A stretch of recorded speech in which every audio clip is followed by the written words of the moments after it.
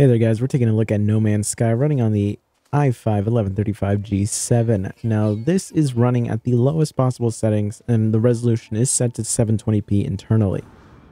Now I'm just in the tutorial section here where you gotta like repair your ship and I was just running around just testing out what the performance was like. I was very much looking forward to playing this game on this laptop.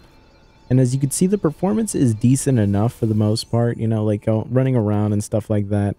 The performance doesn't really drop much.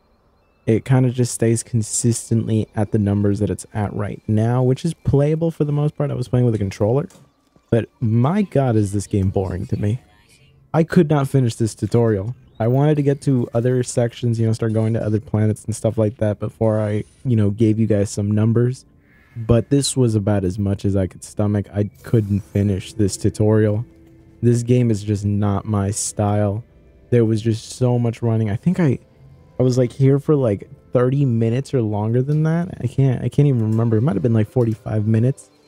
And I just I was so blown away at how boring this is. I mean, if this is what people are into, I mean, go right ahead. You could definitely play it on this chip. It's a it's a decent enough experience.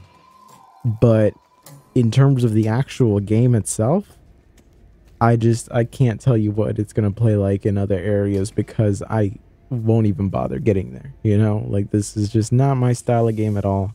Was not fun to play. I got very bored very quickly because it's just running around gathering stuff just to go back to your ship for it to, to tell you, hey, you got to go out there and get more things.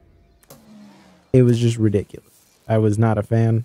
I definitely just won't be playing this, but it performed perfectly fine. You can see how it performs it's uh, it's doing a decent job. I was genuinely surprised because when it defaulted to 1080p and I loaded in, it was a slideshow. So I was thinking, oh, 720p is not going to save this at all. But no, it did. It did. It's just 720p can't fix this gameplay. So anyways, that's enough for me, guys. I will see you guys in the next one.